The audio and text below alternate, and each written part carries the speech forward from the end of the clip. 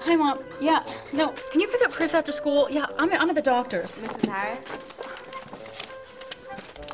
Describe your symptoms. H- hang on. Stress, headaches, nausea. Yeah, Well, I work on Saturdays. And how long has this been?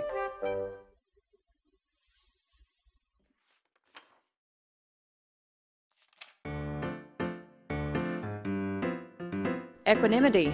Balance your lifestyle.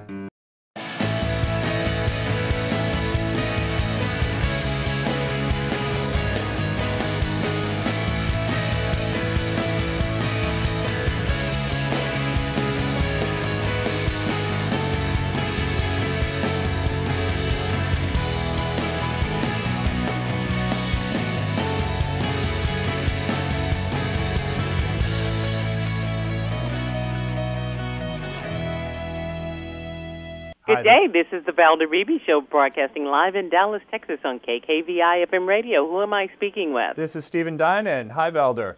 Hi, Stephen. How are you? I'm great. How about yourself? I'm having a wonderful life. Thank you for joining us. We're so excited you get to talk to my audience. We want to know what you know that we need to know. Uh, well, I've written a book called Sacred America, Sacred World, which is really the excuse to be on the show here. And it, I think it's important at this time of bitter partisanship, a lot of divides, you know, black and white, uh, rich and poor. We're, we're, we're getting more torn apart as Americans than we've almost ever been before. And it's important for us to remember the sacred principles on which we were founded, which are really more universal principles and point us towards greater wholeness and unity, really. E pluribus unum means out of many one. And that oneness is something we're forgetting right now. And comes both from recognizing our roots, comes from training and working across the partisan divides and class divides and race divides, It also comes from having a, having a mission that we share together to, to you know, create a template of what's possible for America and ultimately the world. How are you and all of the other people who want this unity, how are you going to do it? Will the book play an important part in that? You know, I, I'm really proud of the book Sacred America, Sacred World, because partially because it's gotten endorsements from both left and right, and it's unusual to do that in a political season. You know, I reached out. Rich Tafel of the Log Cabin Republicans came on board. Michael Ostrolenk of the of the Liberty Coalition. Next week, I'm going to uh, going to Cleveland to be part of uh, some things associated with the Republican National Convention. There's a purple tent to be speaking with Grover Norquist. And that's in the context, I'm, I'm normally a very progressive Democrat. And so what I've tried to do in the book is to, is to articulate the principles that really bring us together and to show that there are a lot of solutions that do bridge the divides, that bring together the best of capitalism and the best of social justice, and that show, show how we can actually create solutions that uplift more Americans or that, that help our educate our, our, our families, uh, educate our children better and help strengthen our families. There's a lot of common ground that, we, that goes missing when we're just focused on the partisan warfare and who's going to win. I was wondering when you try to teach about being an American, loving an American, following the rules of America, we're currently teaching on theory, and a lot of people have never read the text, so they don't understand the text. So, how can you teach on theory? Well, I think that it's it's important. Uh, first of all, to we can do the inner work too. I think doing the, doing the historical reading is important, but also just to recognize in ourselves where have we gotten disenchanted, where have we gotten cynical about politics, where are we disrespecting political leaders, for instance. All those things uh, can actually undermine our, our deeper relationship with the country, which I think is a love relationship, and it's a it's built on respect and honor, and ultimately kind of reverence that sacred implies.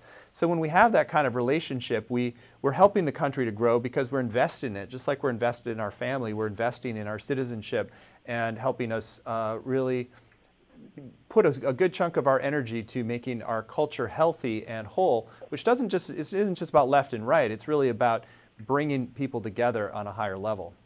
It is, but let me back up because maybe you didn't understand my question or I didn't articulate it very well. When I grew up in the 50s, I'm a baby boomer you know, we said the Pledge of Allegiance. We learned America the Beautiful. Uh, we took civics. We took uh, American history.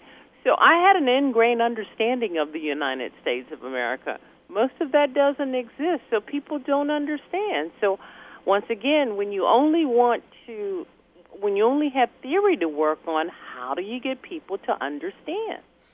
Well, I think it, there's there's obviously having some good exposure to the historical roots and the documents and and also just really taking the time to to to read about read about who we are and what we're doing and and and to, to invest in that. And I, I like to read articles from left and right, for instance, on, on news sites because I find that it helps gives a broader perspective of the values and priorities of the American people. So it really there's there's some is like recognizing the roots, and then some is committing to to really working together to create something better. I know I hate such I hate being my job someday, and I'm going to hate it today after talking to you. But when you have people watching um, uh, the Kardashians and and and uh, what is that? Love and hip hop. They're not reading what you and I are reading. Right. Well, that's part of part of taking our duty as citizens seriously. I have a chapter in the book on sacred citizenship to really see it as part of our part of our, our deepest duty as as human beings in this country to to take the citizenship seriously and to be a leader in our own way. And that leader can be mean just what, what we're reading, what we're exposed to, but also uh, taking the time to make a difference in our communities and get involved and, and work with our elected officials. Yeah, yes, there's a lot of distracting things. You know, Kardashians, maybe a lot of eye, you know, eye candy and excitement to watch it, but it's there's something deeper that we're here for. And, and I'm calling with this book and to really for us to remember that and to commit to that and to and to manifest it together. Okay. At the end of the day, we talked about the Kardashians and Love and Hip Hop.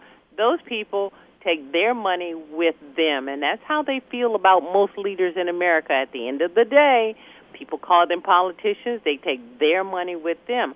How do we help people have a part of the American dream or stay a part of the American dream? Well, I, I think that it's again, it, it comes back to really being invested in this, in a commitment to be citizens together and to be Americans. And, and, if, and when people are disenchanted or disillusioned and they pull away from the process, then it's easier to just focus on yourself and, and, and what, what makes your life richer or better. But there, there is, we're actually, good research shows that we're actually happier and healthier when we do commit to serve and we give back.